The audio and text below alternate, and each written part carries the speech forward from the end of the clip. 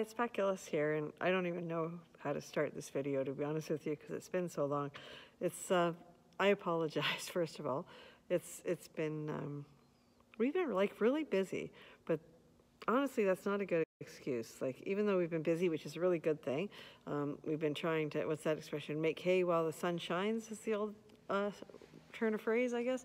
But, you know, like the summer is a really busy time for us, and in the spring we were gearing up for the summer, and then the first month of September is crazy busy because all the kids are coming back for the fall session. And so, excuse, excuse, excuse. I remember years ago reading an article um, about Jerry Seinfeld, the comedian, and um, he said something about, I think the interviewer asked him, you know, how do you consistently produce material? Like, how do you write every single day? Because apparently that's what he, he did at that time, at least. And, uh, how, how do you keep up the discipline of it? And he said, well, he says, what you do is you write every single day or do the task every single day.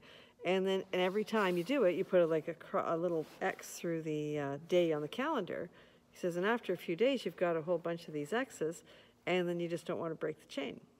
And I thought, wow, that's like really good because I find it's kind of like that with everything. Like if I, you know, um, like I remember when I first started doing yoga, I would always, you know, write it on the calendar, and I and after I'd done it for three or four days, I didn't want to break the chain, right? So I would keep doing it. Anything I've ever anything done like that, really, um, that kind of requires a bit of dis- discipline or initiative to get going or whatever. But I guess what I'm saying is I broke the chain. you know, this spring. Um, I, I forget really. I don't even remember what happened where I missed a couple of weeks and then all of a sudden I, I, it was just like jerry says like like mr seinfeld says it became you know okay you know what? I'll do it tomorrow because i've already missed a week now so I'll, I'll do it next week for sure and then next week it come and here it is like i guess you know i don't know how many weeks later you know which is absolutely insane. Um, a little update uh, the horses have been great um, that family of horses that we had that came from away. they're, they're now in the school pretty much. They're, they're being ridden mostly just by advanced students or whatever, but they're actually rideable now, which is great.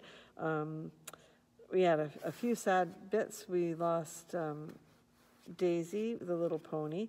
Uh, we had to have her put to sleep because she was just, uh, she'd gotten to the point where she couldn't bend her knees anymore for the blacksmith to deer feet. And, uh, and then she had a little bit of a fall one day. She, her arthritis was so bad in her knee. Um, both front knees really that uh, I think she was by the end I, I felt not too badly about it because I think she was very uncomfortable as well. So that was sad.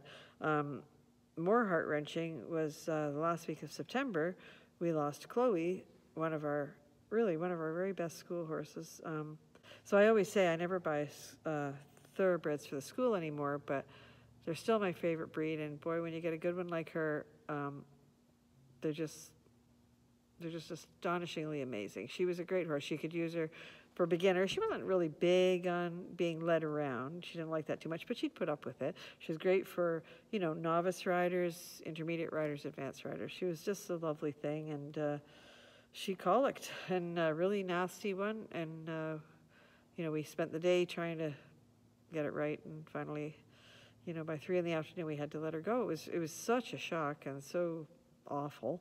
Um, colic. So, you know, life's funny. Eh? Like, you never count on anything except the fact that horses will break your heart all the time.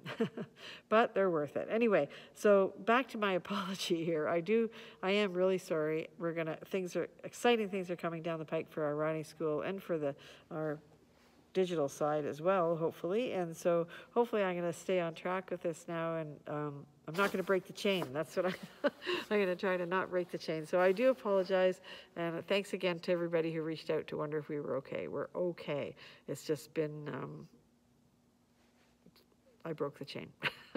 okay. Anyway, thank you so much. And I will talk to you next week. And remember to thank your horse and we'll talk to you soon. Okay. Bye-bye.